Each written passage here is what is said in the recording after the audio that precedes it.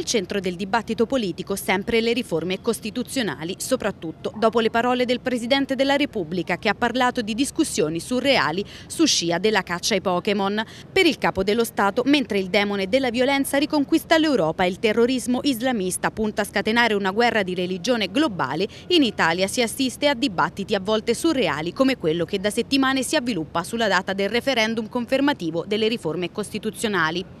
Alla Camera Forza Italia presenta 41 volte no, 2 metri quadri di libertà, la campagna per il no al referendum sulla riforma costituzionale. Il Movimento 5 Stelle apre un nuovo fronte, quello della data, e chiama in causa il Presidente della Repubblica, che secondo il Movimento starebbe permettendo a Matteo Renzi di gestire a proprio piacimento l'enorme lasso di tempo per decidere quando indire il referendum. Noi vogliamo una data certa per questo referendum costituzionale perché vogliamo parlare nel merito e i cittadini devono cominciare a informarsi insieme alle forze politiche come il Movimento 5 Stelle che racconta la verità sul referendum.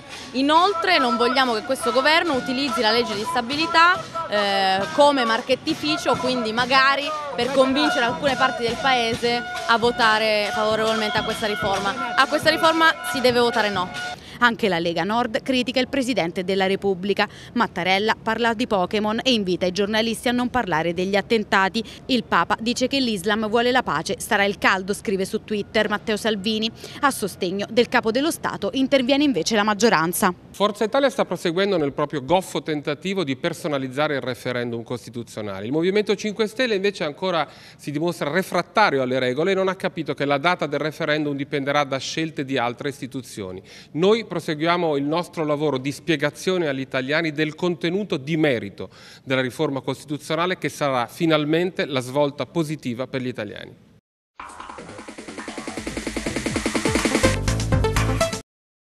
Le vittime del salvabanche tornano in piazza per protestare contro le ingiustizie perpetrate ai danni di onesti risparmiatori italiani, soprattutto visti gli ultimi accadimenti che hanno come protagonista il sistema bancario italiano, dove i responsabili amministratori delle banche rimangono impuniti, Banca d'Italia e Consob restano a guardare e il governo, che allo sbando sostengono, si dimostra non all'altezza di gestire la situazione, adottando misure casuali di azzeramento dei risparmi, ogni volta in una forma diversa, senza regole certe e senza una seria guida politica. Il decreto salvabanche è un decreto sbagliato perché hanno preso quattro banche diverse tra loro, con crediti diversi tra, tra loro, okay? con situazioni patrimoniali diverse tra loro, ne hanno fatto un pacchetto unico e hanno detto che dovevano, che dovevano essere trattate nello stesso modo. Tant'è che anche la svalutazione dei crediti di queste banche, dei crediti deteriorati, è stata fatta allo stesso importo. Ora mi spiegate voi come quattro banche diverse possono avere la stessa svalutazione sui crediti deteriorati? Secondo me non esiste perché ogni banca deve avere delle analisi, delle analisi, fatte in modo adeguato, in modo specifico, discreto per ogni banca. Secondo noi, in più, quella svalutazione è stata strumentale per dire che le banche erano fallite. Tant'è che per fortuna a Chieti qualcuno se n'è accorto e il Tribunale lo ha ammesso probabilmente quella la Carichietti non era nella situazione di dover essere liquidata in quel modo. Continua a crescere la rete dell'associazione, infatti oltre alle vittime di Banca Etruria, Banca Marche, Cariferrare e Carichieti, in piazza Montecitorio ci sono anche i rappresentanti delle banche venete, Popolare di Vicenza e Veneto Banca e di Montepaschi di Siena. Il governo facendo questa misura, ok, parziale, ha comunque ammesso le proprie colpe, ha ammesso che quel decreto, il famoso salvabanche, non si doveva fare o comunque bisognava trovare soluzioni alternative. Ammettendo questa colpa tutti i cittadini che sono rimasti così, diciamo, fregati dal decreto salvabanche hanno il diritto di essere risarciti e mi viene da dire integralmente. Ai risparmiatori truffati le promesse non bastano più. Il 22 luglio scorso è iniziato il conto alla rovescia per ottenere i rimborsi degli investimenti bruciati nelle quattro banche fallite, ma ad oggi i criteri con cui vengono assegnati i fondi non si conoscono ancora, né tantomeno sono state definite le regole per l'arbitrato alternativo alla richiesta di rimborso. Gli elementi ci sono per dire che il governo ha sbagliato. Non ha sbagliato solo nel decreto salvabanche, ha sbagliato in molte altre cose che hanno a che fare con le banche. E ora annaspa sta cercando di trovare soluzioni anche per Montepaschi, se effettivamente c'erano dei buchi in Montepaschi o nelle quattro banche, ebbene ci deve essere trasparenza su chi ha autorizzato eventuali finanziamenti che sono stati destinati a persone che sapevano che non avrebbero risarcito nulla. E in Montepaschi la partita è molto più grossa perché si parla di 47 miliardi di buco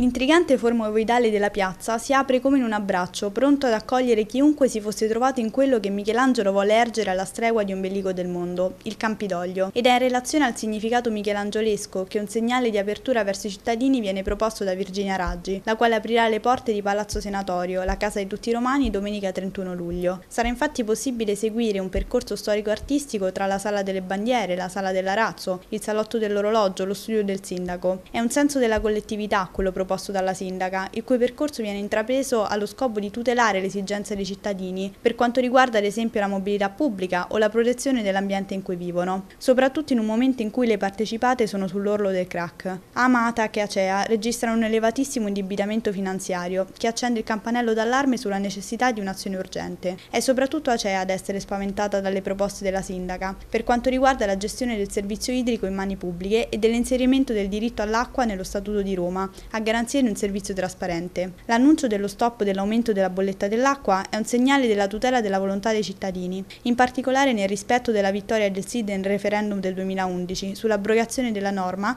che affidava la gestione del servizio di distribuzione dell'acqua a società private. La lotta per la riconduzione delle aziende nell'alveo di una gestione imprenditoriale ormai non è più rinviabile.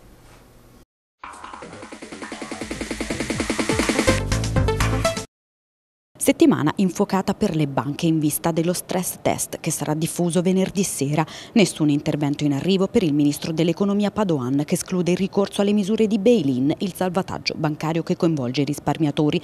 Non c'è alcun rischio, il sistema delle banche italiane è solido, mette in chiaro Padoan, puntualizzando che con la Commissione europea è in corso da tempo un dialogo molto costruttivo riguardo alla definizione pratica rispetto ai gradi di flessibilità all'interno della normativa. Siamo molto preoccupati di quello che potrebbe succedere succedere eh, il 29 con la pubblicazione degli stress test e siamo molto preoccupati eh, del fatto che il governo nel pieno del caos decisionale eh, ad oggi eh, non abbia dato segnali di vita eh, per salvare un settore, quello bancario, che è alla base della nostra economia. Ribadisco che malgrado una profonda e prolungata recessione lo stato di salute delle banche italiane in generale rimane solido. Il problema delle sofferenze sarà affrontato ordinatamente nel tempo.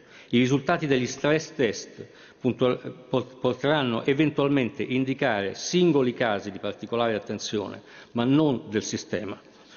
Assicuro che il Governo segue con attenzione eventuali elementi di criticità, in stretto contatto con le autorità europee.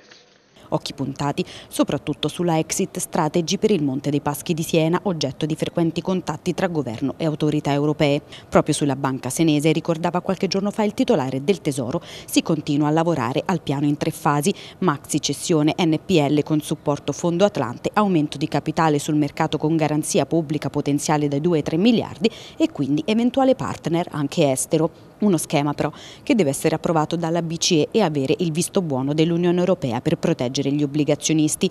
L'urgenza per il governo è evitare che la bomba MPS esploda. La svalutazione dei crediti e gli stress test porteranno infatti alla luce l'esigenza di un rafforzamento patrimoniale che è il terreno di scontro tra l'Italia e l'Europa.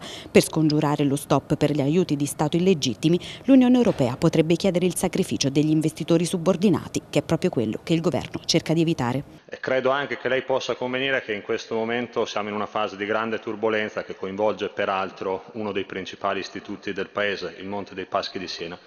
Noi riteniamo che non sia indifferente a questa instabilità la scelta dell'Italia di inserire il bail-in all'interno del proprio ordinamento, quindi le chiediamo se non ritenga opportuno di dover e poter cogliere questa occasione anche davanti al Paese per annunciare che l'Italia qualora ci dovesse essere un momento in cui uno dei grandi istituti sistemici nazionali che dovesse entrare in crisi o dovesse avere bisogno di una ricapitalizzazione forte, noi siamo pronti a sospendere anche unilateralmente il bail-in a tutela dei risparmiatori e della stabilità finanziaria del Paese. La revisione del quadro normativo intende ridurre la possibilità di future crisi e migliorare la resilienza delle banche, sia in caso di stress causato da perturbazioni sistemiche che da cause idiosincratiche, soprattutto grazie al rafforzamento dei requisiti prudenziali e al potenziamento degli strumenti di supervisione. Il disegno dell'Unione bancaria non è peraltro completato. Deve essere ancora implementato l'accordo concluso dall'Ecofin il 18 dicembre 2013 di istituzione di un sostegno pubblico comune al Fondo di risoluzione unico. L'Italia sostiene e ha sostenuto con convinzione la creazione di un sistema comune di assicurazione dei depositi che permetterebbe di realizzare una più completa mutualizzazione del rischio bancario nell'area euro e contribuirebbe ad allentare il legame fra banche e Stati sovrani, garantendo a tutti i depositanti lo stesso livello e garanzia di protezione.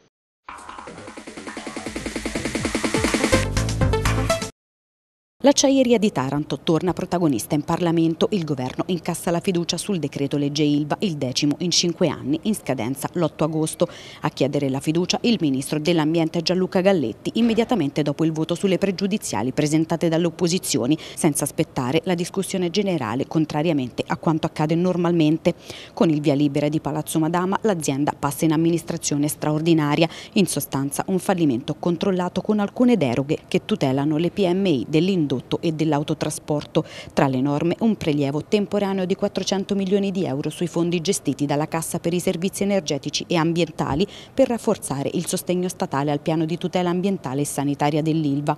La stessa norma prevede che questo prestito sarà regolarmente rimborsato in un termine posticipato al 2018 per tener conto dei tempi della procedura. Noi lo abbiamo detto detto e ridetto in questi, in questi tre anni, eh, purtroppo no, la situazione eh, sanitaria e ambientale oramai è un punto di non ritorno e in più questo decreto non garantirà neppure la tenuta dei livelli occupazionali, quindi nulla sul fronte del diritto al lavoro, meno che meno sul fronte del diritto alla salute. L'aspetto più controverso fin dall'inizio della discussione e che finisce soprattutto nel mirino di sinistra italiana è lo stato di scudo giuridico che estende anche agli amministratori e acquirenti degli asset l'immunità prevista per i commissari dal decreto del 5 gennaio 2015 per gli adempimenti relativi all'attuazione del piano ambientale prorogata fino a fine 2018.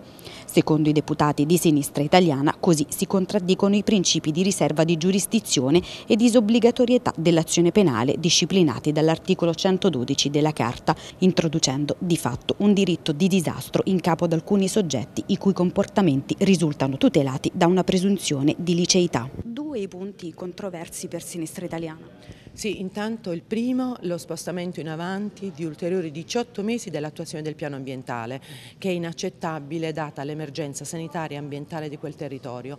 E il secondo, lo scudo giudiziario che si estende dai commissari straordinari ai futuri acquirenti dell'ILVA, cioè i futuri acquirenti dell'ILVA non saranno perseguibili penalmente, civilmente e amministrativamente per eh, per le condotte che metteranno in essere eh, quando, appunto, quando, acquisteranno l'ILVA, per cui una sorta di diritto al disastro eh, previsto appunto soltanto per i futuri acquirenti dell'ILVA.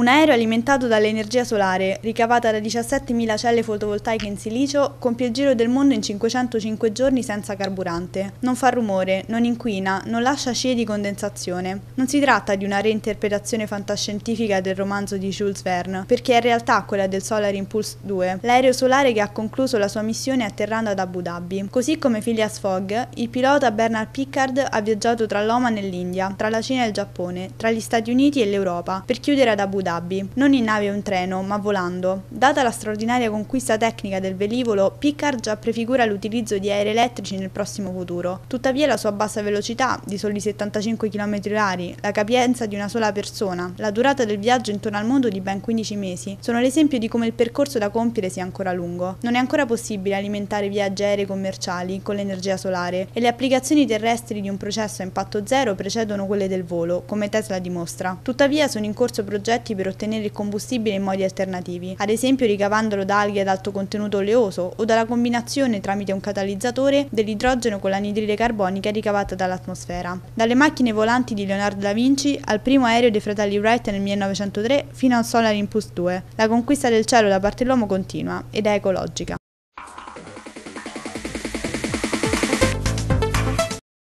Il progetto della Pagura d'Aprilia, la discarica di Lacogna, ottiene parere contrario all'unanimità del Consiglio Comunale. Il primo punto all'ordine del giorno è stato votato da tutti i presenti ed i diversi gruppi hanno espresso le motivazioni del loro voto. I consiglieri del PD Vincenzo Giovannini e Monica Tomassetti si sono detti pronti ad opporsi ai vertici regionali del partito se dovesse essere necessario per proseguire la battaglia contro la discarica. Il centrodestra ha posto l'accento sulla reale incisività del pronunciamento assembleare invitando a non ripetere l'episodio passato della lotta alla Turbogas che non ne ha scongiurato la realizzazione. Qualora ci fosse la percezione che la battaglia è persa, replicare l'errore sarebbe imperdonabile. In questo caso bisogna puntare i servizi alle bonifiche dei siti inquinati. I consiglieri Bafundi e Romualdi di Facciamo la Differenza e Carmelo Terzo di Forza Italia hanno dichiarato che presenteranno le loro osservazioni perché l'iter di realizzazione dell'impianto è ancora in una fase iniziale. Roberto Boi del nuovo centrodestra si è schierato contro la programmazione provinciale e regionale. La consigliera Carmen Porcelli ha invece sottolineato che ci sono due petizioni online presentate da diversi gruppi, convinta del fatto che se si vuole vincere la battaglia l'esecutivo deve unire e non dividere il fronte del no come invece si sta facendo adesso. In opposizione al progetto si è schierato anche il coordinamento dei comitati, che raccoglie 14 movimenti e rappresentanze di quartiere. Tra le motivazioni a supporto del rifiuto c'è la certificazione di maggio scorso, nella quale la provincia aveva reso noto che fosse presente sul territorio un numero di impianti di trattamento dei rifiuti superiore alle necessità di smaltimento.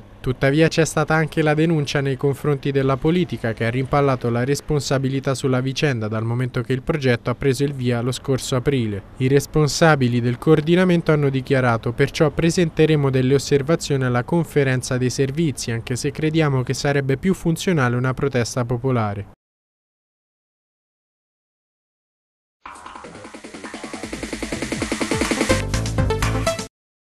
Partono ufficialmente gli scavi su via Laurentina ad altezza Pomezia per la realizzazione delle due rotatorie atte a razionalizzare la viabilità della zona. Dopo l'ultimazione dei lavori preliminari, infatti, il cantiere è stato aperto nella mattinata del 28 luglio alla presenza del sindaco Fabio Fucci e dell'assessore Federica Castagnacci, al termine di un percorso organizzativo e burocratico non di certo semplice, ma che permette ora di intervenire su di un'area da sempre affetta da numerose criticità e sfortunatamente anche eventi eventi tragici verificatisi in passato. Il primo cittadino di Pomezia, Fabio Fucci, dopo l'augurio di buon lavoro rivolto agli operai, ha spiegato ai cittadini presenti le caratteristiche degli interventi e la loro funzionalità, senza tralasciare l'attenzione riservata alla tutela del patrimonio arboricolo preesistente nella zona interessata. Questo è un intervento che ha preso vita tre anni fa, quindi abbiamo aderito ad un bando che ha finanziato questi lavori, è un intervento importante perché si tratta di mettere in sicurezza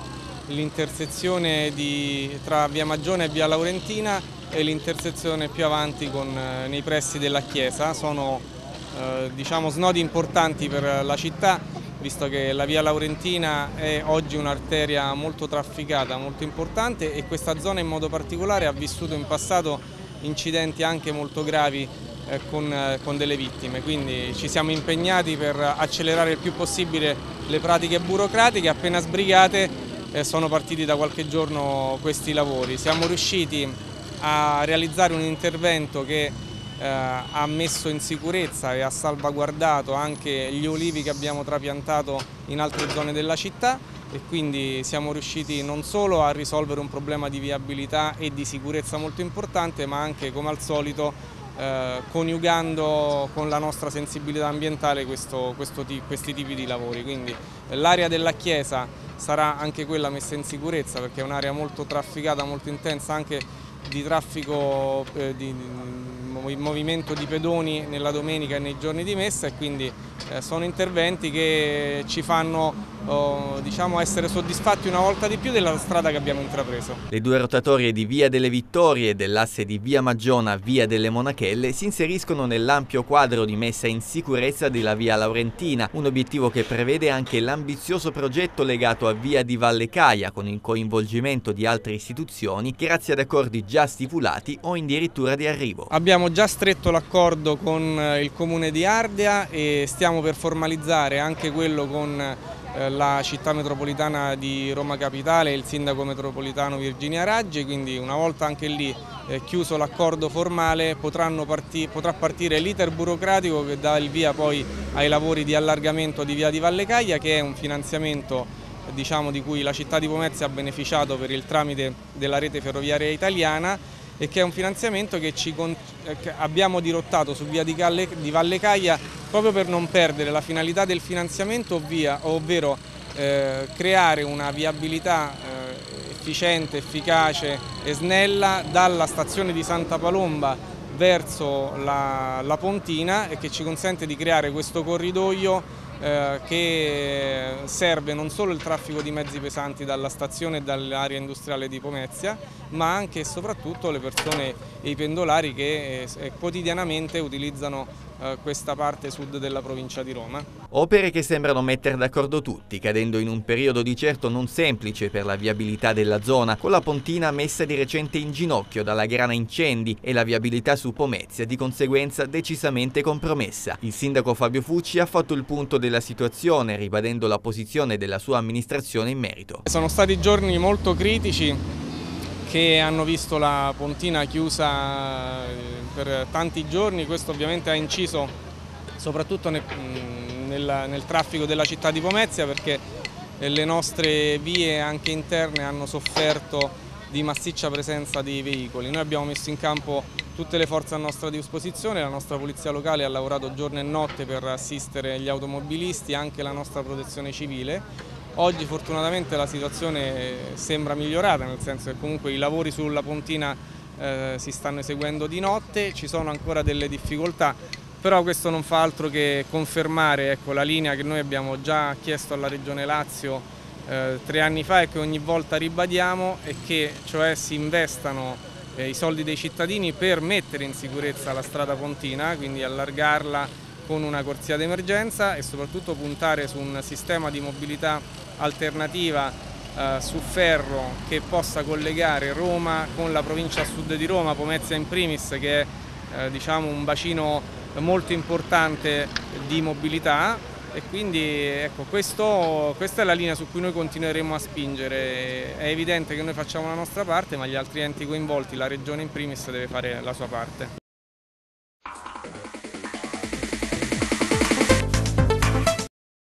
Entro il 31 luglio ci saranno importanti novità per quanto riguarda la gestione del servizio idrico. Acea avrebbe offerto una cifra di poco superiore a 20 milioni di euro per acquistare le quote private di Acqua Latina. L'offerta vincolante permetterebbe ad Acea di accaparrarsi le quote di Veolia, holding francese che detiene il 49% di Acqua Latina. Veolia dal canto suo è ben intenzionata ad accettare in attesa dell'ufficialità. Poco potrebbero fare i comuni in quanto non sono specifici modificati i vincoli all'acquisto delle quote, oltre alla stabilità economica della società acquirente. Gli avvocati di Acea e Veolia avrebbero inoltre ribadito che non esiste un vincolo di prelazione per i comuni. Il passaggio potrebbe avvenire a giorni ed è molto irrealistica l'ipotesi del coinvolgimento della Regione Lazio. Non si sono fatte attendere inoltre le dimissioni della parte privata del CDA dall'amministratore delegato Raimondo Bresson al vicepresidente Rocco Failla. In questo scenario la revoca del CDA potrebbe risultare un ulteriore ulteriore problema da parte dei comuni, dal momento che potrebbero aprirsi salati contenziosi tra amministratori e società. L'unica soluzione per impedire l'acquisto non impossibile ma altamente improbabile sarebbe quella di raccogliere più di 20 milioni e superare l'offerta di Acea.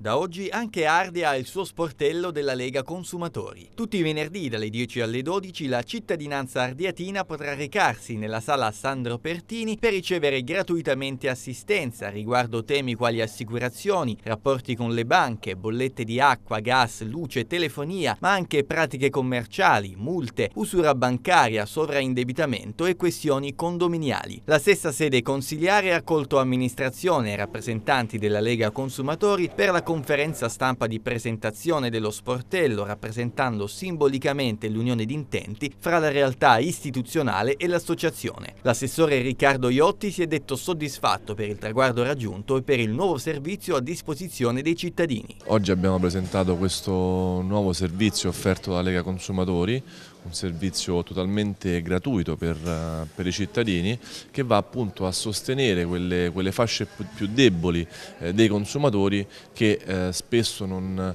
riescono a venire a capo di alcune problematiche e quindi eh, viene offerta all'interno di questa sede una, una, consulenza gratuita appunto dai professionisti della Lega Consumatori, per cui è un servizio, ripeto, totalmente gratuito che offre dei vantaggi in più al, al cittadino. Noi siamo ben lieti di, di ospitarli nella, nella sede comunale e mi auguro appunto che questo questo servizio eh, sia proficuo insomma, e crei dei vantaggi per, per i cittadini. Ripeto, per, sempre per quelle fasce più deboli che spesso cercano un punto di riferimento per risolvere problematiche che potrebbero essere banali ma che vengono percepite come, come difficoltose in un momento così, così difficile anche a livello economico. Il presidente della Lega Consumatori, Dario Ferraro, ha spiegato la necessità di concretizzare il progetto dello sportello unitamente agli obiettivi da raggiungere. Con l'apertura di questo sportello qui ad Ardea intendiamo dare sostegno a tutte le famiglie, consumatori e agli utenti per le varie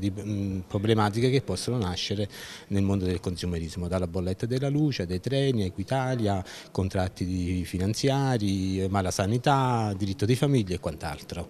Quindi in sostanza vuole essere un, un riferimento per tutte le famiglie, in modo particolare in questo momento che già da anni una crisi economica che attanaglia il nostro, il nostro paese, quindi le famiglie sono eh, estremamente in uno stato di disagio eh, economico ma non solo e quindi noi con questa apertura di questo sportello intendiamo poter dare assistenza in una serie infinita di problemi, eh, rivolto, assistenza rivolta alle famiglie. Il Presidente Ferraro ha poi fatto il punto sui casi principali che dovrebbero portare i cittadini a rivolgersi alla Lega Consumatori, soffermandosi sulle tipologie specifiche di assistenza che saranno loro fornite. Il nostro compito principale è quello di informare, che noi siamo del, dell'idea che solo quando si è informati si è in possibilità di decidere. Quindi noi cerchiamo di rendere il consumatore consapevole e informato. Quindi facciamo tutto un lavoro di informazione anche con eventi sul territorio, ma nel contempo assistiamo anche praticamente anche con i nostri legali, perché abbiamo professionisti volontari che hanno aderito al nostro progetto della Lega Consumatori e quindi assistiamo anche legalmente praticamente i nostri associati in casi di di eh, controversie legali. Ferraro si è poi rivolto direttamente ai cittadini che si trovino in situazioni di disagio esortandoli ad avvalersi dello sportello ed a fare quadrato ritrovando unione e spirito comunitario. Concretamente vogliamo dare una, un, un, aiuto, un apporto a tutti coloro che stanno in uno stato di disagio non solo economico noi intendiamo eh, in, sul territorio um, creare una, una comunità, un'associazione è di tutti, l'associazione non è del, né del presidente né del vicepresidente, l'associazione è di tutti quelli che ne fanno parte quindi noi faccio un accorato appello a tutti quanti di iscriversi alla Lega Consumatori, di far parte della Lega Consumatori, di, svolgere, di avere una partecipazione attiva in modo tale anche da promuovere una politica sociale sul territorio, un'integrazione e quindi ci rivolgiamo a tutti quanti con la speranza di poter svolgere eh, un compito sociale sul territorio.